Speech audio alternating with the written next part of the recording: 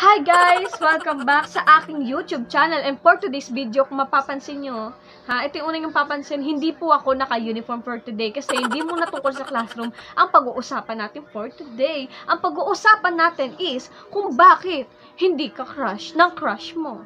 Anong kailangan kong gawin upang malaman mo?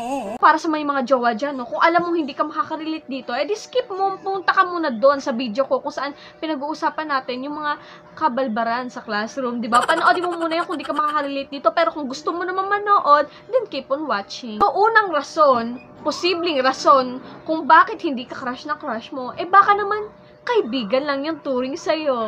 Your love goes so unreal. I just wanna touch you, squeeze you. Somebody pinch me. Sino ba namang hindi mahuhulog? Lagi kayong magkasama. Pinag-uusapan niyo yung problema ng isa't isa. Nag-share kayo ng mga experience.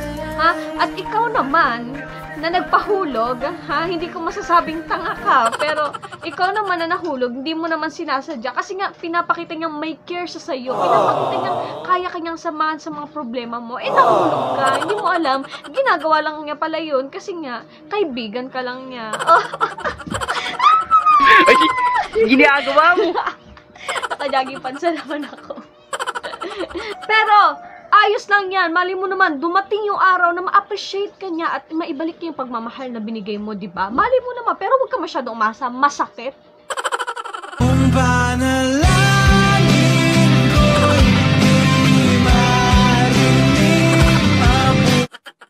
Pangalawang posibleng rason kung bakit hindi ka crush ng crush mo, eh baka hindi ikaw yung tipo niya. Ha? Meron kasi mga tao dito sa mundo na nakasaad na sa utak nila kung ano yung gugustuhin nilang babae, kung ano yung gusto nilang pakasalan, makasama sa buhay o maging jowa. O yung sa, para mas maintindihan nyo ah, eto, in short, meron silang ideal type, ha? Halimbawa, yung isang lalaki gusto niya is maputing babae. Halimbawa, doon naman sa isang lalaki, ang gusto niya is morenong babae. Halimbawa, sa babae naman, yung isang babae gusto matangkad na lalaki, pero yung isang babae naman gusto yung hindi naman masyadong katangkaran. Hindi porket gusto niya moreno at moreno, magpapamoreno at morena ka na rin. O kaya naman gusto niya maputi, kaya mapapaputi ka rin. Huwag kang mag-alala. Yung katangian mong yan, huwag mo eh kaya, hindi porket gusto niya maputi, eh, eh morena ka, magpapaputi ka, hindi. Maging confident ka sa sarili mo. Okay, maging confident ka kasi kung hindi ka naman niya gusto, dahil morena ka, dahil gusto niya maputi, malay mo yung confident mo, yung maging dahilan para magustuhan ka niya, di ba? Ha? Try mo angasan kung di ka magustuhan yan. Pangatlo, pangatlong posibleng rason kung bakit hindi ka crush ng crush mo, eh, baka naman kasi may ibang nagugustuhan. Ito ah, m- makinig kayo mabuti, medyo mahirap to eh. Alam nyo kung bakit? Kasi kung yung nagugustuhan mo, eh wala naman nagugustuhan, medyo mataas yung chance na kaya mong paibigin siya o makuha yung loob niya. Ha, ganun yon Pero kung yung nililigawan mo o yung nagugustuhan mo, eh, nakastick pa rin dun sa isa na gusto niya at mas malala kung matagal niya na nagugustuhan yun, medyo mahirap mong makukuha yung nagugustuhan mo. eh. Medyo mahirap mong makukuha yung loob niya na magkagusto rin siya sa'yo. Mahirap yun. Kasi nga, hindi mo naman pwedeng turuan yung puso niya na ako mahalin mo, ako nandito. Eh, kung gusto niya nga yun, ano ba magagawa mo, di ba?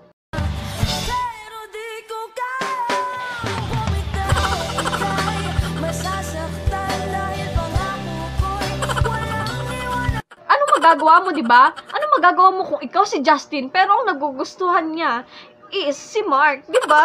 Parang ganun lang. Apat, pang-apat na posibleng rason kung bakit hindi ka crush ng crush mo, eh baka naman kasi busy yung tao. Marami pwedeng pagbisihan. Busy sa sarili niya, gusto niyang mapaunlad yung sarili niya. Busy sa pamilya niya dahil gusto niyang makatulong. Busy sa pag-aaral niya kasi gusto niya nga, ganun pa rin, matulungan yung pamilya niya. Eh marami pwedeng pagbisihan. Busy sa kaka-ML, pwede rin naman, di ba? You have been slain. Sa sobrang dami-daming pwedeng pagkabisihan, eh wala na siyang time para magjowa, wala na muna siyang time para magkaroon ng love life o bumuo ng story niya, di ba? Wala na siyang time. Ha? Kaya, yung mga, ito yung posibleng rason eh, kung bakit di ka crush ng crush mo, eh baka busy, di ba? Bigyan mo muna siya ng, ano, konting time. Mali mo kapag okay na lahat, hindi na siya busy, ikaw naman yung pagkabisihan niya, di ba?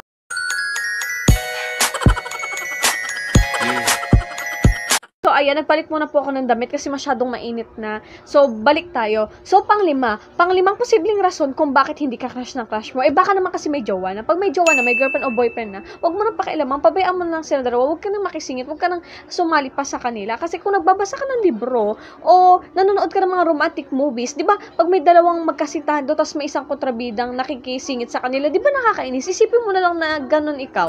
Ha? Ganun ka. Ikaw. Ganun ka, di ba?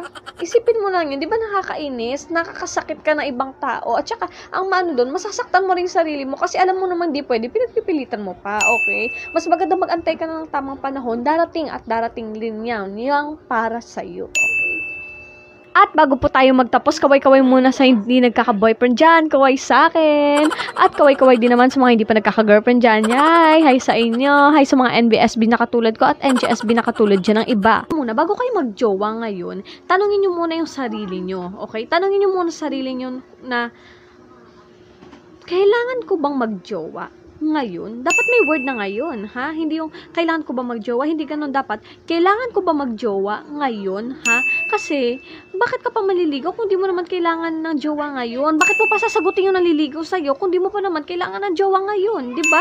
Para saan pa? Nag-aaksaya ka lang ng oras, panahon, at ina sinaaksaya mo lang yung effort mo, di ba? Masasaktan lang kayong dalawa, okay? Hindi yung dapat minamadali yan, dapat inaano yan sa tamang panahon, nangyayari yan sa tamang panahon, di ba? Magdasal na lang muna kayo, ha? Magdasal kayo, sabihin nyo, sana po bigyan nyo po ako ng mabait na asawa, ganun. Wag yung, sana po bigyan nyo po ako ng pogi, ganyan, ganyan, ganyan, etc. etc. Ha? Wag ganun sabihin nyo, idasal nyo na lang, sana po magkaroon po ako ng mabait na asawa, okay? Kasi ang mabait na asawa ay regalo niya, okay?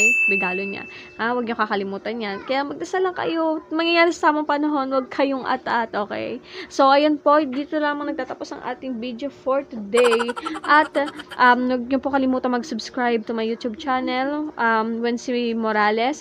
Hit the notification bell, click the like button, and leave a comment below. And don't forget to check my um, social media accounts. Don't worry, I do follow backs po. At magpapa-shoutout shoutout muna po tayo. Shoutout kay Pritz Wilson Pahatin and kay um, Non Ron Nino. Okay. Yun lamang po at maraming salamat. Thanks for watching. Bye-bye!